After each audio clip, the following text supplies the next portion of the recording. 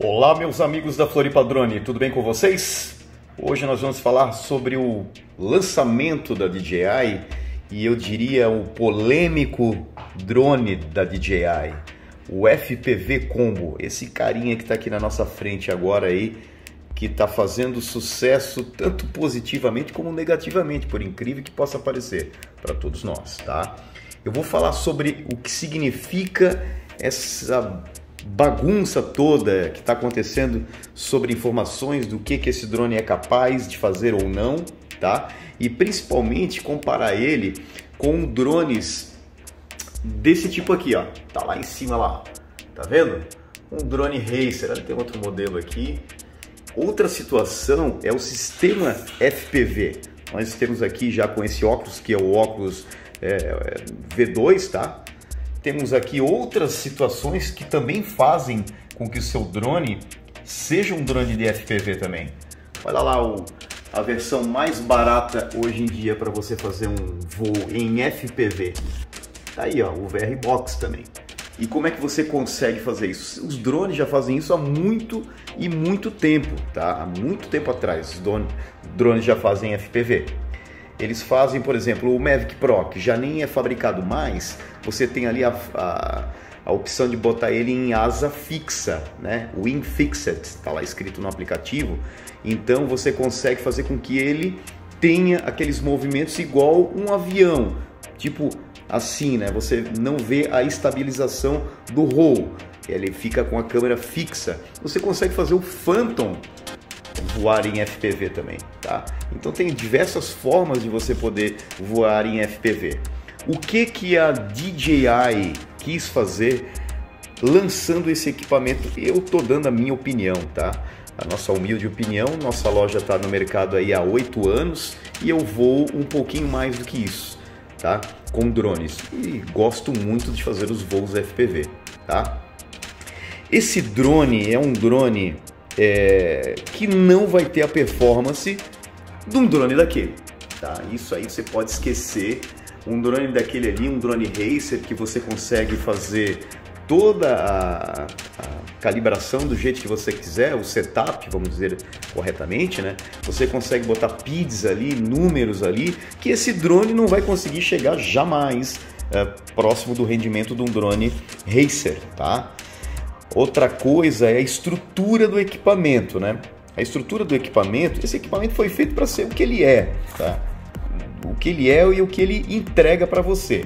Apesar de ele ter três modos, sendo que um modo número um é o modo estabilizado, né, que é o modo normal. Depois você tem o Sport Mode, que você que é cliente já da DJI, tem drones da DJI, sabe muito bem do que eu estou falando. E depois você tem o modo manual, que é aquele modo acrobático, tá? Que também é emocionante, é bacana, tá?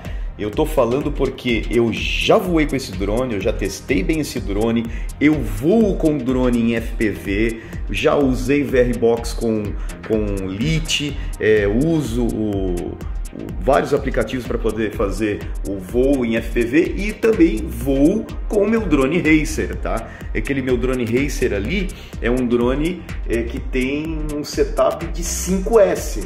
Ele é uma usina nuclear, tá? 5S de bateria, tá? Aquilo ali é é é uma usina nuclear, tem uma velocidade incrível, faz manobras incríveis, tá? Que não chega, um drone desse aqui não consegue fazer. Ali você tem uma estrutura de fibra de carbono, aqui você tem uma estrutura plástica, tá? Então, hum, você tem que entender que também você preparar um drone racer, você precisa de conhecimento, muito treinamento, tá? Para poder ter um drone é, racer voando como tem que voar. E outra coisa é que aquele drone ali, ele é todo de fibra de carbono, preparado para ser do jeito que ele é, e se der um cacete com aquilo ali, quebrar alguma coisa, nem se compara ao preço de quanto custa um drone FPV como que nem esse aqui. Tá? Então assim, eu estou dando todas as considerações. Eu já uh, vi muitos vídeos de feitos aqui no Brasil sobre esse drone, no, de fora, obviamente, tá? De amigos meus pelo mundo todo aí que a gente conversa sobre equipamentos que são lançados, tá? Nós temos aí a nossa rede social.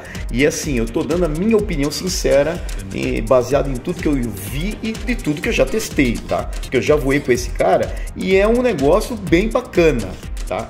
É bem bacana para você que vai comprar um equipamento que não tem o conhecimento de de repente estar tá montando um drone racer, de estar tá pegando peça por peça, tá? De ter um sistema de transmissão FPV no seu goggles que seja eficiente, porque não tem como negar esse, esse essa imagem que você tem aqui nesse óculos é maravilhosa. Você usa o sistema de alta qualidade digital. Tá? Aqui no FPV Combo. Então é um drone que vai fazer com que você tenha emoções mais fortes. Você que está acostumado a, ver, a, a, voar com o seu drone da DJI, você tem o seu Phantom, Mavic 2 Pro, Mavic, enfim, todos os outros modelos para trás, antes desse aqui, esse drone vai trazer sim emoções legais para você poder fazer imagens interessantes também, tá? E também aqui nós temos uma câmera boa, não é uma câmera ótima, não é uma câmera igual um Phantom 4 Pro, não é uma câmera tão boa quanto o Mavic 2 Pro, mas é uma câmera bacana, tá? Ali você tem uma câmera que te transmite a imagem, é, uma, uma, câmera CCD que vai te mandar a imagem, uh, a imagem para o seu óculos, né, que de repente pode ser um Fat Shark ou qualquer coisa parecida, e ela é boa, mas na hora de gravar as imagens que ele está voando, você pode utilizar uma GoPro, até uma Hero 9 que tem imagens melhores, né, é, do que essa aqui do que essa aqui. Então é muito importante você ter essa consciência. A imagem que eu fiz com esse drone, eu vou mostrar nesse vídeo, é muito bacana. É bem legal, é de alta qualidade também, tá? Mas não é algo tipo cinematográfico, né? É isso que eu quero tentar deixar bem claro para vocês. Eu tenho aqui o kit FPV Combo com Flymore, que significa ter o hub e as três baterias, tá? Então a DJI ela utilizou é, nos vídeos de lançamento desse equipamento outros drones para fazer algumas manobras que você vê lá. Tá, eu até posso botar aqui no vídeo aqui manobras que não foram realizadas por esse equipamento. Então a DJI faz isso, ela, ela monta todo um espetáculo para você ter aí, é, assim, infelizmente vou dizer a a falsa impressão de que esse equipamento vai te entregar aquilo, mas na verdade não é isso. Não vamos nos iludir, né? Que tem coisas que esse equipamento vai estar limitado para fazer. Que um drone racer, né? Um drone racer que nem aquele ali que eu já mostrei para vocês, com um modo de voo acrobático, vai conseguir entregar toda aquela emoção e todas aquelas manobras malucas, velocidade que nenhum drone daquele é possível de se fazer. Porém, tá? Porém, esse é um drone que eu diria, você que tem um tem a grana, né? Porque não é barato também. Um drone desse está sendo vendido atualmente na média de 14 mil reais sem o kit Flymore Combo e de 16 mil reais com o kit Flymore Combo. Então não é uma coisa barata. Não é uma coisa barata como um drone racer que você consegue aí montar né, com câmera, um bom rádiozinho, um, né, um bom frame, aí por volta de dois mil reais, tirando o óculos. Aí você o óculos, você tem um óculos de qualidade aí, é Fat Shark, coisa e tal, aí você pode botar mais uma grana em cima. Mas aí bota mais uns 3 mil em cima, você vai ter aí um, um drone por volta de 5 mil reais, um kit completo, né? Com drone racer, óculos e tudo e aí você vai gastar um por volta uns 5 mil reais, vamos calcular. E aqui você está vendo que o negócio não é nada barato, tá?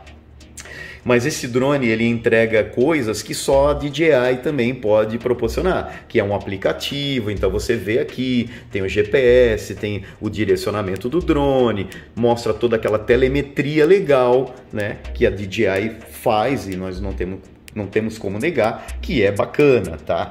Outra coisa muito importante é, entender que no, nesses três modos de voos que esse equipamento te proporciona, né, o normal, o Sport Mode e o acrobático, o tempo de bateria muda radicalmente.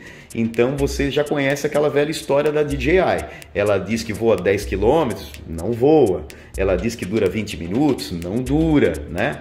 Esse equipamento que está dizendo aqui na caixa que voa 10 quilômetros, eu fui a 3 quilômetros e pouquinho e ele já voltou para trás tá? Já deu, já pediu para voltar, tá? Mesmo porque a bateria não tem muita condição de autonomia.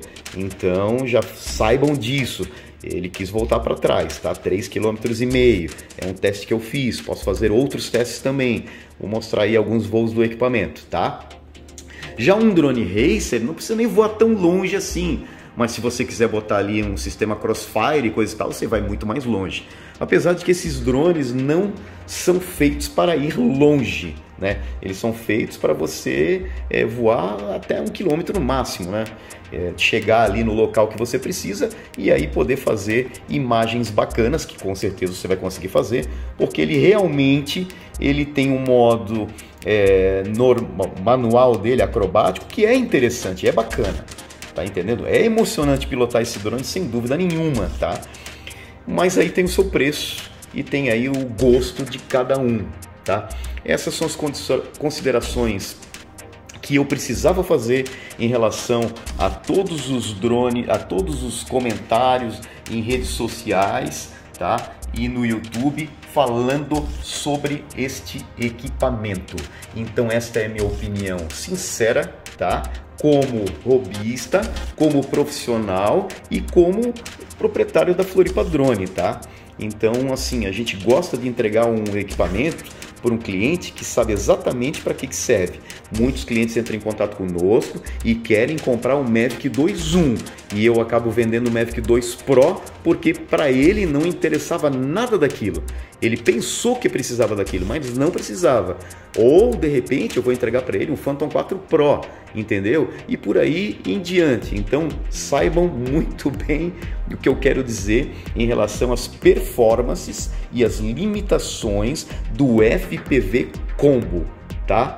Que eu digo para você, eu voei, achei bacana, tem um preço salgado, tá? Não vai entregar o que aquele drone ali entrega para você, mas também a comodidade de você tirar esse drone prontinho da maleta, ligar e voar, não tem preço também. Por um outro lado, você poderia dizer: pô, mas eu não sei mexer nisso, é um saco ter que mexer naqueles speeds, realmente exige conhecimento, tá? Então eu quero uma coisa pronta, bacana, legal, com qualidade. Você tem o DJI FPV Combo. Beleza, meus queridos? Espero ter ajudado vocês aí, elucidando todas essas dúvidas e qualquer coisa, deixe aqui nos comentários o que você quer saber, o que você precisa saber sobre este cara aí, o DJI FPV Combo.